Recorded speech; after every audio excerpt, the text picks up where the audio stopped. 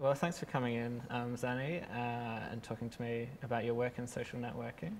I suppose I wanted to start with um, the setting for the work because it's a very specific town in the US with a very intricate history and demographic and social conditions. Um, so, why did you choose Gary, Indiana for the project? Um, well, we got a residency to go to the States, and initially it was to work with this collective um, that we've worked with before called Temporary Services. Um, they do really amazing work in Chicago. And when we were negotiating with them, they they kind of suggested to us they were like we'd love to work with you guys but they knew the project we'd done in redfern and they're like you know what you should go to gary this work is a, a collaboration with Keg de Souza. Mm. We have a collective called You Are Here.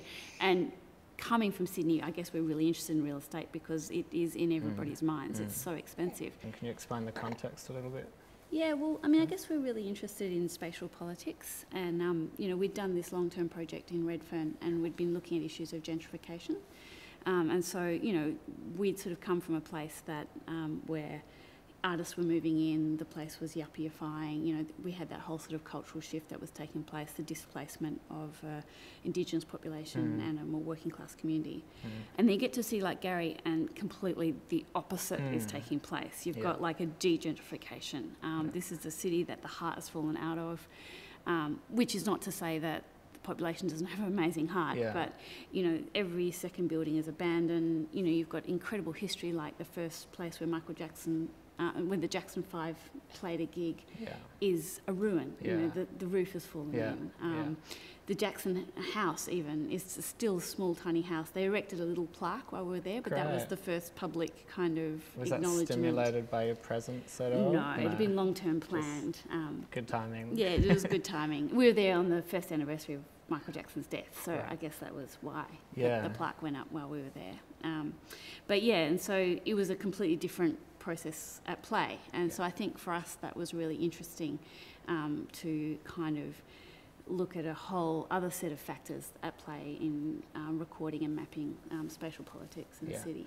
So what is it about Gary that sort of made the work for you or made that drew you to the situation. What we found when we were there was that you know it was such an interesting place that we mm. wanted to communicate that to a broader audience. Yeah. Um, so in the end, the film became something that could travel. We yeah. showed it in Gary, but we wanted it to have an audience elsewhere. Yeah.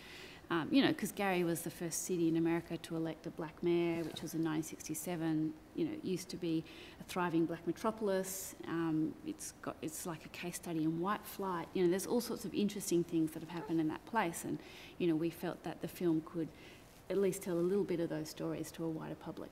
Gary's a very staunch place. Mm. Like there's a lot of, um, you know, there's this phrase, "I've got your back," which everyone says, "Oh, Gary, I've got your back," um, and there's a lot of pride coming from Gary. Um, you know, I think people are intensely aware of this amazing history. I mean, I mentioned Michael Jackson. Um, I mentioned Richard Hatcher, the Black Mayor and stuff, but it's also amazing steel town. You know, mm. it was one of the biggest steel producers in the world, um, which you know, has this incredible working class history as well. Um, and so I think everyone's intensely aware of that. Um, and everywhere you go, people really want to talk it up.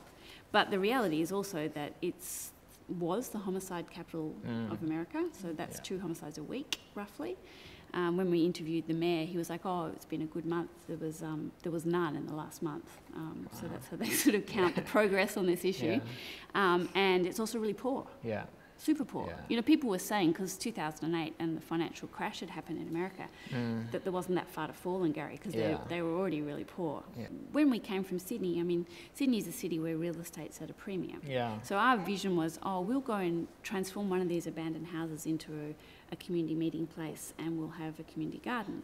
Then we get there and we realise it's actually it's totally different. Yeah. There's lots of space. There's, yeah. In fact, there's too much space. Yeah. It, the city is dying in a way. Um, and the locals found the houses depressing. They didn't want to go inside them. So we mm. had to mm. totally change the project mm. once we got there. So we shifted to say, okay, we'll work with the outside of the house.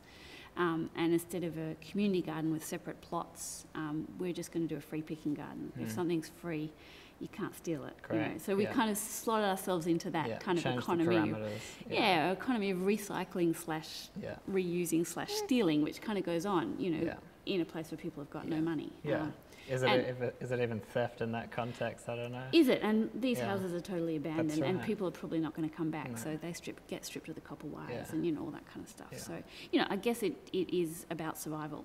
Um, and in a way, the story of Gary has now become the story of quite large chunks of America Yeah. with the financial crisis, um, and that is um, says something about, I guess, um, an you know an economic system that's been riding all these booms, um, but the bust comes, and you know this is what ends up Mm. being the kind of spatial politics or the reality in cities after after the bust.